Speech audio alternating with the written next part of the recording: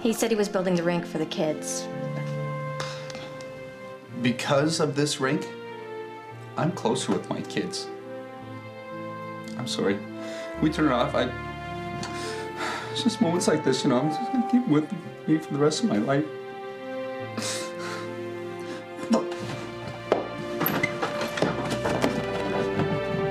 Get off the ice!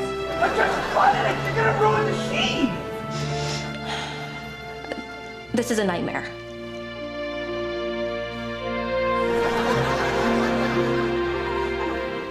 All he thinks about is that darn rink. He's become addicted to it.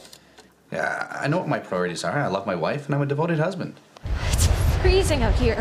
Happy anniversary, honey. Mmm, ice wine. I can't do this. Oh, are you okay? Get off. What did she do? I don't know what to do anymore, you know? This rink is consuming our lives. It's... Get off! You're gonna wreck it! You want it to be wrecked? You want it to be gone forever? I can put an axe to that ice, you know. I swear he loves that hunk of ice more than he loves me. Oh, hang on, I got another call. Hello? Hey, it's me. Come and look outside. Why? What have you done? It's a surprise. Well, you know, you said you were tired of your compact. You wanted to upgrade to a bigger vehicle. I got you this. well, warm it up. Unbelievable. Let's take it for a spin.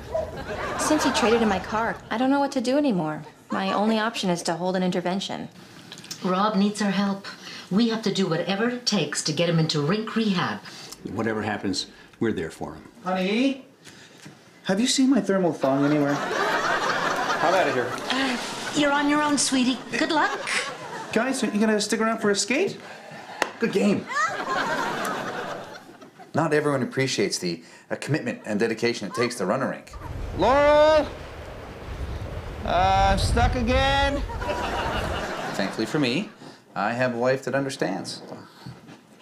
Honey, honey, where are you going? I can't compete with a pool of frozen water. Goodbye, Rob.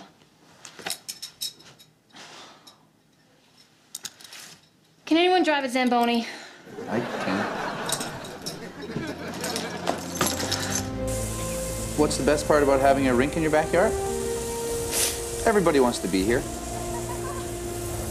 They all want to be me. Jealous.